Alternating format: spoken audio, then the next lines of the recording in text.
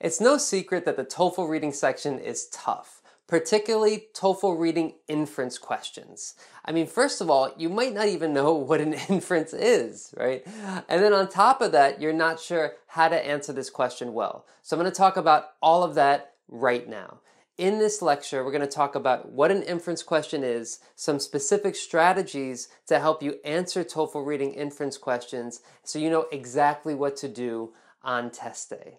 So, my name is Josh MacPherson. I am the head instructor of TST Prep, an online TOEFL school where our mission is simple to help you get the TOEFL score you need as quickly and easily as possible. And today, we're going to talk all about TOEFL reading inference questions. Let's do it. So let's start by talking about our objectives today. So by the end of this, you're going to be able to define what an inference is and how to look on the TOEFL. So we're going to take some time talking about what an actual inference is first. You're going to be able to avoid making the same common mistake as most other TOEFL takers when answering inference questions, and you're going to be able to use your understanding of modifiers and conditions to identify the correct answer. Don't worry if you have no idea what a modifier or a condition is. We're going to talk about that in a lot more detail. And just to give you a heads up, this might be a little bit long, uh, this lecture. There's a lot to talk about, so sit back, relax, and I hope you learned something here. Okay, so let's get right into it. One thing I do want to say, and I encourage students to think about their own strategy and compare it to my own. Feel free to take what you like and ditch what you do not like. So basically, you know, there might be things in this uh, in this lecture that you like, things that you don't like. Don't worry about doing exactly what I say. This is just from my experience teaching students, but every person is different. You are an individual, you have your own strengths and weaknesses. So feel free to test what I'm going to say to you and see if it works for you. Okay? All right, so let me get into it. Here's an example of what an inference question looks like. Uh, this is from one of TST Prep's complete tests, and the question says, What can be inferred from paragraph 5 about the workers in Taylor's theory? So inference questions are pretty easy to spot because they use verbs infer, imply, or suggest. So there's 10 different question types. These are eight rules that we give students to find the correct question type. Uh, we're not going to talk about this in a lot of detail. I talk about it in another lecture. But basically, if you need to know what's an inference question, it'll use one of these three words as a verb infer, imply, or suggest. All right, that's that. Now, what is an inference? Let's, let's take a step back for a minute. What is an inference? Well, an inference is a conclusion based on evidence and reasoning. Inference and author's purpose questions are not directly stated in the passage. So that's the most important thing to keep in mind, is that the answer is not directly stated in the passage. For factual information questions, the answer is in the passage. For most of the questions, the answer is in the passage. For these, they're probably not you have to make a guess based on the information in the passage. And I'm going to show you how to do that. But that's what an inference is. So, here are some everyday examples of inferences that you do. You do this every day, whether you know it or not. You look out the window and notice clouds in the sky. You take an umbrella because you guess it might rain. So that's an inference. You see clouds, take a guess, might rain, you take an umbrella. Another example, you're speaking about your problems at work to a friend and he yawns. You stop talking about work and instead ask about his life. This happens to me pretty often, talking about my own life. People are not so interested. People are much more interested in their own life. So, again, this is an, an example of me making an inference. Somebody yawns, okay, they don't want to hear about me. They want me to ask questions about them, maybe. Or I should just stop talking in general. So, uh, so yeah, so that's an inference that you can make every day. So we do this, you do this every day. Inference examples. She almost always comes to work on time. So, based on this sentence, what's an inference you can make? Think about it for a second. You can pause the video at any time if you want. I'm not going to pause, I'm going to just keep going, but you can pause the video anytime.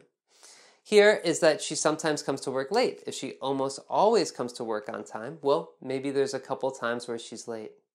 Or she's a reliable employee. Almost always comes to work on time sounds pretty good, sounds pretty reliable. Another example here. An area of land is considered a desert if it receives less than 4 inches of annual rainfall. So it receives less than 4 in- inches of annual rainfall? Well, some inference I can make there is that areas that receive more than 4 inches are not deserts. right? So I'm taking the information I'm given and taking one step further, making a conclusion based on what I'm given. And again, we do this all the time, every day. So you make inferences every day. Do the same with the information you read in the TOEFL passages. You don't have to do this a lot. You just can do it for the TOEFL question, the inference question, because most of the questions you don't have to make an inference, but it is something that comes up often and something that you can do more of if you need to. But just focus on it for inference and author's purpose questions for the most part. Okay, so how can you make an inference? The first thing is that you, the first way you can make an inference is to analyze the modifier. Josh, what's a modifier? Okay, well, let me give you an example. Uh, a modifier is an adjective or adverb, usually. So, a word or phrase that supplies additional information about another word or phrase. We're going to keep it simple. Modifiers are actually a little bit more complicated than this if you open up a grammar book, but we're just going to focus on adjectives and adverbs here for the TOEFL. So, a big dog. Big is an adjective, it's modifying the noun dog.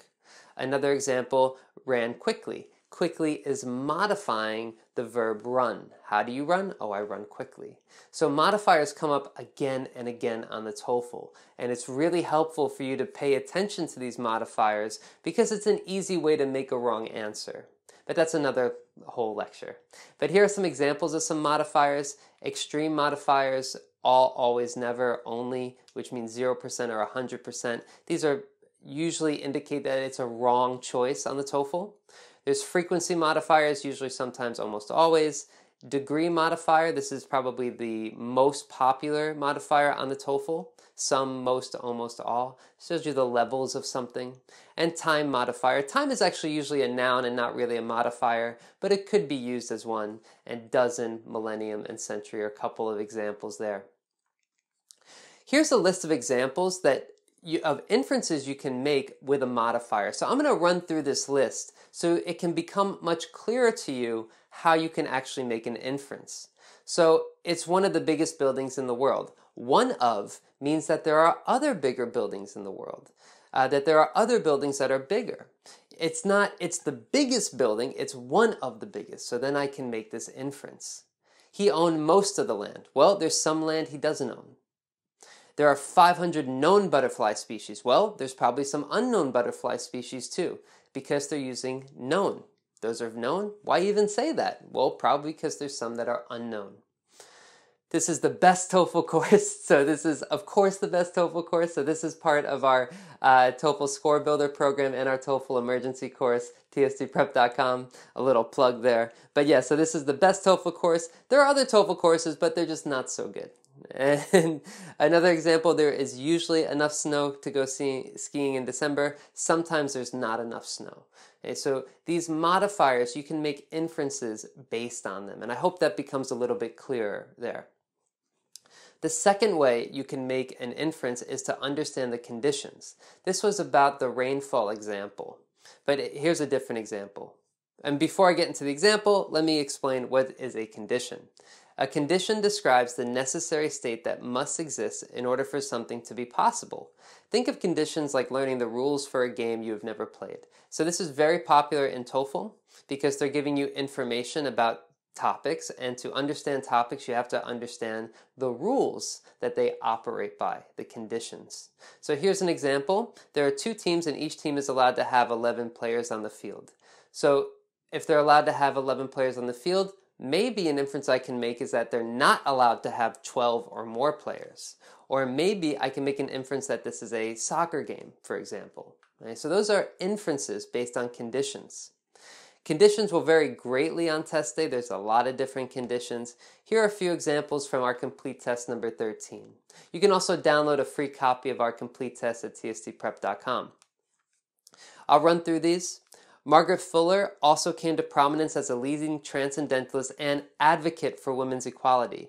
Well, so if she was an advocate for women's equality, well, then women were probably not treated equally while she was alive. Conventional agriculture is ill suited to solve the crisis, but hydroculture might be a potential solution. What's my inference? Well, hydroculture is probably unconventional. The sentence begins with conventional and then contrasts with hydroculture. Well, probably it's unconventional. Another example, the indoor location allows farmers to create controlled environments. Well, outdoor locations are probably harder to control. Organizational psychology had its origins in the early 20th century. Maybe it didn't exist before the 20th century. Unlike most other academic fields, business leaders immediately understood how research into worker psychology and productivity could have a positive impact on both the workers' well being and the company's profit margins. Well, I guess business leaders are not usually interested in other academic fields, unlike most other academic fields. So, as you can see here, these conditions, you maybe see some modifiers as well. Uh, I wouldn't worry too much about is it a modifier, is a condition. Just focus on understanding how to make the inference and understanding the conditions that are there. Anyway, the majority of your learning will come through practice. I want you to understand that these conditions and modifiers are going to be helpful for you. And probably right now you're thinking, oh, this is cool. This is interesting. I kind of get it now. I see where I can make an inference. But you will have to practice. So definitely practice these skills to help build them over time. So, at this point, you know about modifiers and conditions, and you have a better idea of how to make an inference. At this point, let's start talking about the actual TOEFL questions. Let's look at some examples and review what inference questions look like and ways to answer them so you can feel more confident and comfortable when you take the test. So let's get into this next part here. We actually talk about the TOEFL reading inference questions. Here are four things you must know. The first thing is that you'll get 0 to 1 inference question per passage. They're not so common. You'll probably have about 3 in the entire TOEFL reading section. Also, try to answer in 90 seconds or less. You don't have too much time for these. The question wording will always include infer, imply, or suggest, like I mentioned before. And inferences are not directly stated in the passage, like we just talked about, right? So here are some examples of the popular question wording. This is how the question will look when you actually take the test. Which of the following can be inferred about blah, blah, blah, blah, blah. The author of the passage implies that blah, blah, blah, blah, blah. Which of the following can be inferred from paragraph one about blah, blah, blah, blah, blah. So hopefully you see uh, from those examples that they always use infer, imply, or suggest there. Okay. And so again, this is one of the rules for question wording. It'll always have infer, imply, suggest, as I said before. Okay. Second thing you have to know is that you have to read the question carefully. Now, why do I say this? Well, let's look at an example. What can be inferred from paragraph 5 about the workers and Taylor's theory? There's the word infer. You see, infer, you should know it's an inference question. But a lot of students don't see it. So a lot of students start to answer this question like a factual information question, like it's a detail that they have to find the fact. They have to find the fact in the reading. This is not what you're doing. You have to make inferences, guesses, good guesses, based on the information that's there. That's a different thing. So if you're looking at the paragraph trying to find the correct answer, then you're going to be answering the wrong question. They're not asking you what's the detail, what's the fact, what's true. They're asking you what inference can you make based on this information. That's a different question. So if you answer this based on factual information, you'll get it wrong. And that's one of the most common ways that people get inference questions wrong. They answer the wrong question. They don't know it's an inference question. They forget that it's an inference question. Make sure you know you don't misread the question and that you know it's an inference question. Make sure you do that. I can't say that enough. It's not a detailed question. It's not directly stated in the passage, usually. It's something that you have to infer, that you have to guess. Very important here. Pro tip the answer to an inference question is not usually directly stated in the passage, which is what I just said, which is why it's crucial that you read carefully. So read very carefully, make sure you understand the question. Crucial. All right, thing number three, the next thing you must know is that this question requires reading most of the given paragraph. So you're going to have to eliminate three choices, and to do that, you have to look at all of the choices and you have to read the paragraph and start eliminating. You have to basically say, I can't make that inference, I can't make that inference, I can't make that inference, that one I can make. And that's how you get the answer to the question. So it requires quite a bit, bit of reading here. Now here's one reason why you might have to read the whole paragraph is that the keywords are everywhere. Uh, keywords is a strategy we use basically that in the question there are some words that you can use to find the answer quickly. But if you look at this question, the keywords workers, Taylor's theory are everywhere in this passage. So it doesn't help so much for you to use these keywords to help you find the sentence where it's located. So you have to read quite a bit of this paragraph. So again, keywords are sometimes so common in the given paragraph that they will not help you find where the answer is located.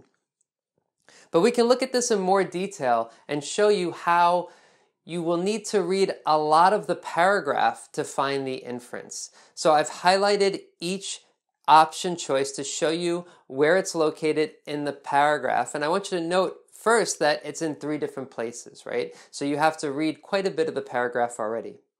Let's start with the choice A, where it's highlighted in yellow. Distilled water has a negative impact on the growth of plants, and the sentence says it's grown best when raised in water that is rich in various nutrients rather than in distilled water.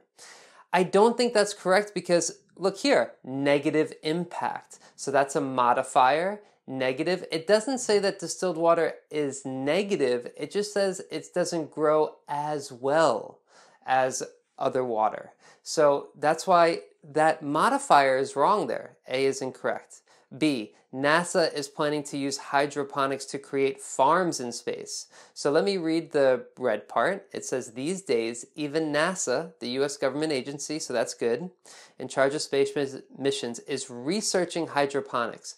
So, researching hydroponics and growing space farms are two very different conditions here. So, you know, creating farms in space and researching hydroponics, I can't make that inference. I can't guess that they're going to make farms in space just because they're doing research on hydroponics. That's too far. I look at C, the first experiments in hydro- hydroponics were mostly unsuccessful. I see all the passage. Although it may seem like a technologically sophisticated form of agriculture, scientists have been experimenting with hydroculture since at least 1627. Early experiments showed that plants grow best, blah, blah, blah. Okay, so the first experiments, early experiments, were mostly unsuccessful. They don't say they're unsuccessful, they just say some water was better than this other distilled water. So it's probably D, and let's look at D. Hydroponics is a simpler form of agriculture than people believe. The part highlighted in blue, although it may seem like a technologically sophisticated form of agriculture, scientists have been experimenting with it since at least 1627. So it's a simpler form than most people feel. So I can make that inference that it's a simpler form because it's saying that people think it's complicated, but it's not so complicated. Been doing it for hundreds of years already. So that's an example there. And again, focus on conditions and modifiers for answers. So this is the fourth thing that you should know. I just wanted to uh, restate this and so you can see examples of it. And again, remember a modifier for our purposes here is either an adjective or an adverb. Big for dog, the big dog instead of just dog, the big dog. And adverb, run quickly. So quickly is going to change the verb run.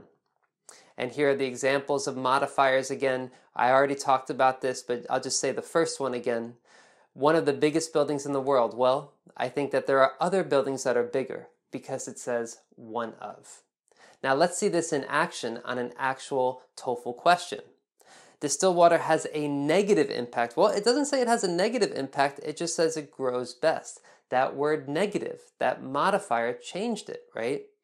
B, NASA is planning to use hydroponics to create farms. That's too far of a condition, right? Create, they don't want to create farms, they're just researching hydroponics. We don't know if they want to create farms or not. Here we have the modifier, mostly unsuccessful. Well, not really. It says that actually it's just that one water grows better than the other. Mostly is a strong modifier there, and also the condition unsuccessful is just wrong. And then we have D, a simpler form of agriculture. We can make that inference that it's simple than simpler than most people think based on the information in the passage. And again, what is a condition? A condition is the second way that you find an inference, and that is kind of like the rules of the game. For example, each team is allowed to have 11 players on the field. An inference I can make is that if you have 12 players, you can't play. for example. And I went through all of these examples already for conditions, but just to give you a quick little refresh, Margaret Fuller also came to prominence as a leading transcendentalist and advocate for women's equality. Well, probably when women were not treated equally while she was alive. All right, let's see this in action here. And again, Margaret Fuller here. She was the most famous transcendentalist of her time. We have this phrase most famous, that's too strong. They called her a leading transcendentalist. Doesn't mean she's the most famous. That modifier is wrong. She attended Harvard. Well, they actually say she could not attend Harvard, so it's not true. She could use the library, but she could not attend Harvard. Wrong condition there. She held positions that most women did not in her time. Now, this is a condition that's true, and I'll talk about that in a minute. I want to talk about the wrong answers first. D, she only reviewed books, so you see that word only. That's a pretty extreme modifier, probably wrong. Let's go back to C. I'm going to read the part highlighted in blue. However, she was later granted the use of the library there because of her towering intellect. In 1840, she became editor of The Dial, a transcendentalist journal, and she later found employment as a book reviewer for the New York Tribune newspaper. All this information here, all these conditions, she was able to use the library at Harvard. She was an editor of a newspaper. She was a leading transcendentalist journalist. All this information, on top of everything else in this paragraph, I can make the inference C. She held positions that most women did not in her time because of all the conditions that have been laid out. She wasn't able to attend Harvard, she could use the library, she was an editor of a newspaper, and she was a, a researcher, a writer, a journalist for another newspaper. Probably she held positions that most women couldn't at her time. So hopefully you can see those conditions there. Pro tip, inference questions are often spread out across multiple sentences, so read most of the given paragraph for the answer. Just wanted to say that one more time. And also, don't forget, visit the website tstprep.com. We have something for every TOEFL student. In my experience, there are four different types of TOEFL students ones who have less than a month or more than a month, or you need to improve your TOEFL skills or your TOEFL skills and English fluency. And no matter what category you're in, we have something for you. So if you have less than a month and just need TOEFL, emergency course is perfect, the basic. The orange part, if you have more than a month, number two, and you just need TOEFL skills, then you should do the emergency course premium. There's more practice for you to do, for you to do more sample tests. If you have less than a month and you need TOEFL skills and you need to improve your English fluency, then pray. We don't do anything about that. Fluency takes time to build.